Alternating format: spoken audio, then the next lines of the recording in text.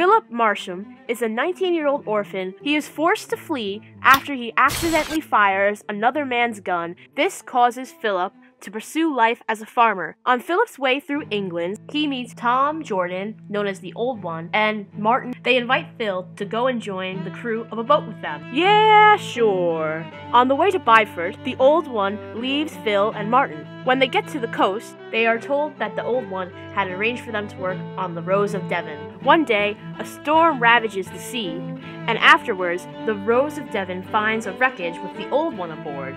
The Old One and his crew appear to be friendly, but Surprise! We're pirates. the Old One takes over the ship and makes several failed raids. Let's make a major attack on this small town. Arr! Arr. Aye, Captain. One of Phil's friends tries to escape, but is killed. Phil tries to escape too, and is captured by the British.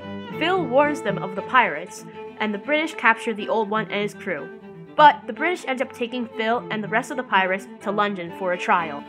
Listen, the punishment for swashbuckling is being hanged. Despite Phil's pleas, the court does not believe he is innocent. But when the Old One testifies in his favor, they set Phil free. Phil goes back to the countryside and works under a lord. When the lord dies, Phil returns to the sea.